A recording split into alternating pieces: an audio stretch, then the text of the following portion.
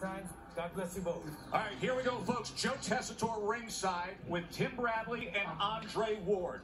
Edgar Berlanga has not had a fight that has lasted more than two minutes and 45 seconds. Tim Bradley, does Sierra get him into the second round? I don't see it. You know, Sierra said he's not going to come out. He's going to be aggressive, and he's going to keep Berlanga out at bay. Oh, there's a thud. Yeah, and did you see the response from Sierra? He is so heavy-handed. You hear that thud when Berlanga punches. Not back here. Not now. The power's real. He did it. How Ed, Edgar Berlanga came in knowing all the pressure to deliver was on him and over-delivered. You know what I like about what Berlanga's doing here? He's coming around the guard. He got a guy that has the earmuffs on, coming around the guard, hit him high on the head, right around on the ear, that caused his first knockdown. Then he just he comes behind the jab, and now he's throwing a little hard because he knows he has Ulises hurt.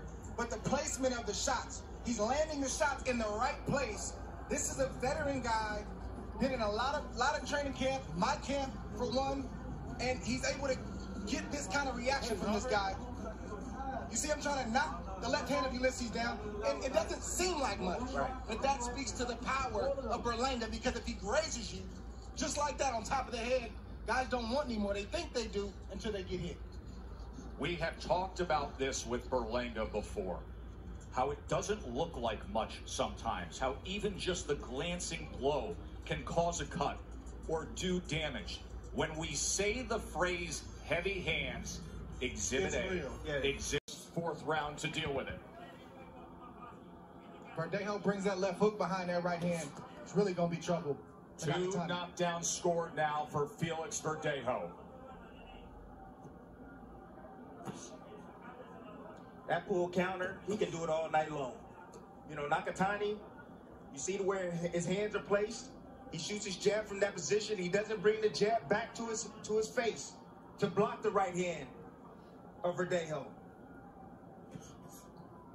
But to my earlier point, Joe, talking about sacrifice, he left his comfort zone on the island of Puerto Rico and he came out here, made himself uncomfortable because he's trying to rebuild his career, get to a championship, and he wants to be one of the greatest Puerto Rican fighters that have ever lived. And he's got a long way to go, but he's headed in the right direction. Much respect to him for rebuilding himself to this point.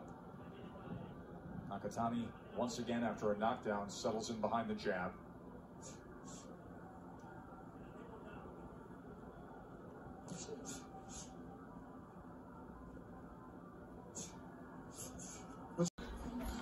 And see Nakatani just following up.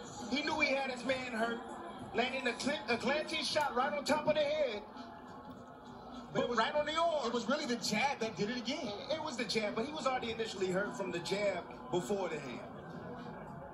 And Verdejo's fatigue, throwing wild, wild looping shots. He Joe Ruiz calls a halt to this bout at 1 minute 45 seconds of round number 9, declaring your winner by technical knockout. And now, the WBO Intercontinental Lightweight Champion, Masayoshi Nakatani! Masayoshi Nakatani, who in the seventh round landed 16 power punches to turn things around. Great respect for those two to pose for the pictures. That was a great fight. I mean, a great fight. You see the total punches there as Nakatani landed 81 of 412 thrown. 55 of those 81 were power punches. He was damaged. He got up twice, and then he over delivered. Speaking of a guy who always